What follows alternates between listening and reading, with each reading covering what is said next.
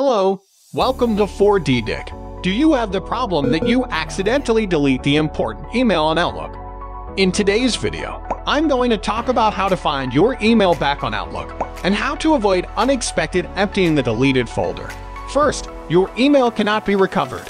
Once you satisfied one of these conditions, email is automatically deleted from your deleted items folder after 30 days. Items removed from your deleted items folder are recoverable for 30 days. Junk email is retained for 30 days before it is automatically deleted. So let's quick move on method 1. Method 1 is to check the draft folder. Perhaps your Outlook or computer is crashed when you are drafting the email. At this time, you can check the draft folder. Outlook will automatically save the draft email and draft folder as long as you click New Mail. Method 2 is press Ctrl plus C to undo the deletion of emails. Just like Word or Excel, the undo shortcut is also available on Outlook. Ctrl plus C is absolutely a lifesaver. If you accidentally empty the deleted folder, then you could move to Method 3. Method 3 is to check Recover items deleted from this folder. First go to Deleted Items folder. You will see Recover items deleted from this folder. Click it, you will see all emails you cleaned up in deleted folder. Select the email and click Restore. If you need to restore multiple emails, here is the shortcuts for you.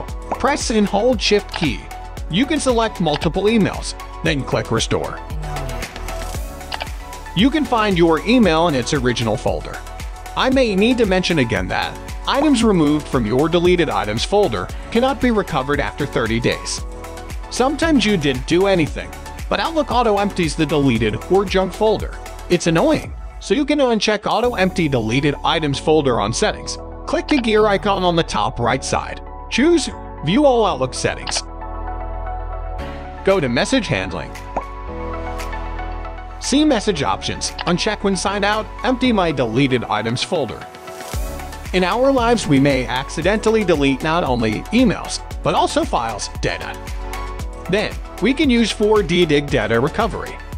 It's a simple and helpful software that can recover your lost data. You can download it first just in case you need it. Launch 4DDiG and click Data Recover. Select the possible location of your lost data. Click Scan.